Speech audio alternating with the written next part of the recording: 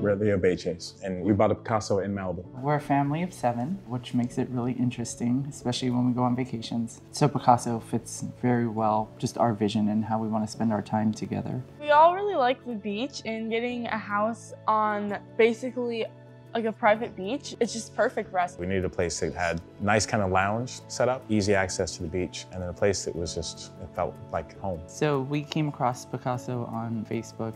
We have been looking at real estate and potentially investing in a second home. And the concept was completely different. Having five children, it was really hard to find hotel rooms that accommodate you're constantly looking for something that you can recreate a home environment. All the things that Pacaso does are the things that I don't want to do. It's outfitted with things that are modern, things that are just beautiful, new, taken care of, well kept, and you really appreciate that. I don't want to worry about upkeep. I want to worry about my sons, my daughters, my wife. I, I don't want to worry about trying to outfit it and figuring out layout. I just want to get there and do nothing.